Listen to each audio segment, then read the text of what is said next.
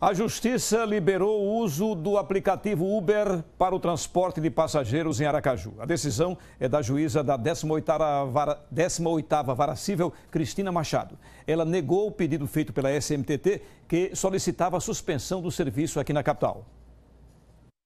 A decisão considera que os serviços de Uber e táxi são diferentes e não há prejuízo à atividade dos taxistas.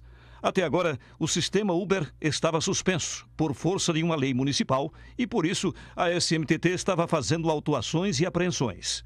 Mas, na decisão, a juíza considera que o Uber oferece um serviço privado e que, por isso, quem deve legislar sobre a questão é o Congresso Nacional. O sistema foi implantado em Aracaju em dezembro do ano passado. Quem usa o serviço alega que a forma de atendimento e os preços são um diferencial. A juíza determinou ainda um prazo de 15 dias para que a SMTT se manifeste. Já a assessoria de comunicação da SMTT informou que só vai se pronunciar quando for notificada da decisão.